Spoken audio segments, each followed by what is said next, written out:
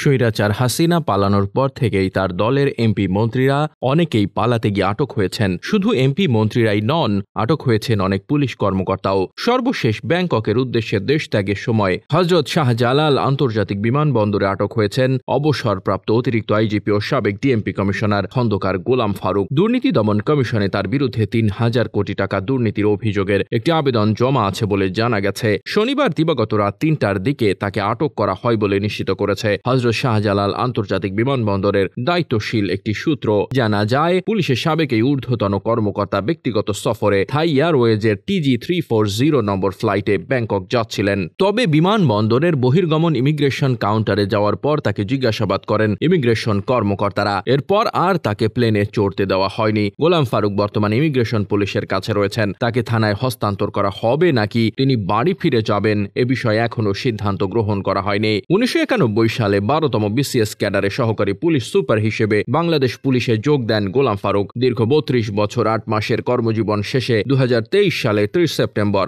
অবসরে যান তিনি। অবসরপ্রাপ্ত পুলিশ কর্মকর্তার যুক্তরাষ্ট্রের গ্রিন কার্ড রয়েছে বলে জানা গেছে। Desk report, Bartabazar.